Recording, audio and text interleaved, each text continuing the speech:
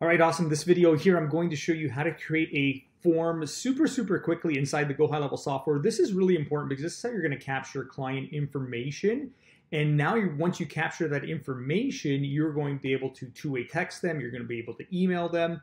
And but basically, you need the client information first in order to do that. So this is called a lead form. And you, what you're going to do is you're going to head over into your software. You're going to go to the Sites tab and make sure you're on Sites here so you'll find that tab. If you're in settings for some reason, you'll you'll X out of that and go to the sites tab. It should look like a side bar like this. And then what you're going to do is you're going to add a form. I like to go start from scratch. Uh, for this tutorial, I'm just going to quickly show you how to create a form. And uh, basically, this is a, a blank form. So what you can do is we can actually add a form element. So on the left-hand side, we can add a bunch of elements here. So let's say we want to add the form to have a first name. Then we can drag over a last name, uh, probably a phone number we want to capture, and an email address. Uh, that's good. Let's say we want them to leave comments. Uh, we can also do that as well.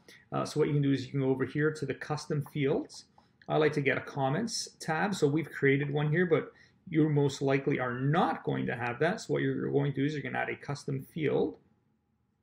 and you're going to do a single line.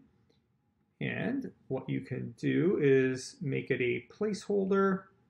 We're going to go next.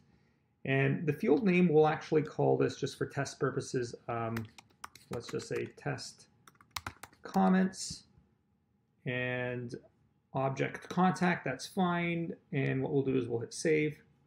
Oh, we got to select the group. So just go contact and hit save. Now perfect. So now we've got that test comments right here. I can drag that over.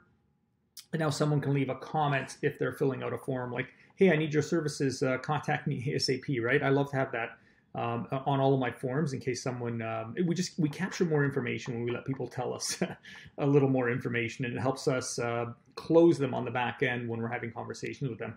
A lot of times people in our fitness business will say hey like i really need help uh, you know losing weight. Um, i really need help with uh, whatever it might be. I have type 2 diabetes. Uh, please help me right? They'll, they'll leave that in there and it gives us context going into a phone call uh, or an email or a text message. So a bit of a marketing hack there but make sure you have a comments field. Um, I personally love that, um, especially in, in our fitness business.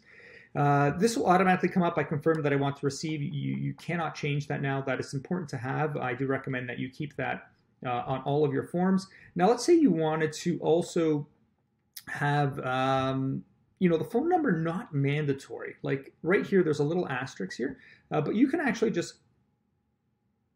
hide that. So if we click off required, now that is removed and the phone number is like an optional field for them, okay? I like to make it required because we want to get their phone number so we can actually text clients and prospects on the back end. So I would recommend that you leave in, you know, phone number, email, um, last name I would probably put up here. So it would be first name, last name.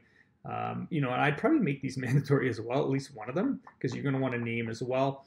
And uh, that should be good to go. Another little hack here that, that I use is uh, sometimes I like to label my forms as well. So what you can do here is, let's just go back to the quick add.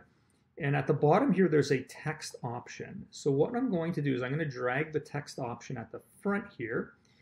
And in this right-hand corner, you can label your form. So you can say like, you know, give them a call to action. Um, get started now right?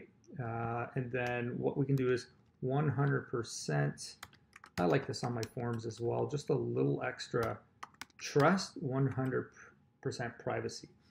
Uh, guaranteed or something like that you can put in there okay and then uh, that just looks a little too big for me so I would change the size to probably uh, you know maybe around 20 uh, that that looks a little bit better and now you've got a form set up in your software, you can actually start using this form. You'll actually have a link to this form, so you can actually start using this on your social media channels. Like, hey, um, you know, I'm working with the next uh, five people uh, that that want to lose, you know, the next uh, 20 pounds uh, in the next, uh, you know, 60 days. Uh, use my form here, sign up. So you can you can do that. You know, you can use your form in so many different ways. But this is one way you're going to go ahead and create a form inside of Go High Level. And hopefully you found this video, video valuable, and we'll see you on the other side.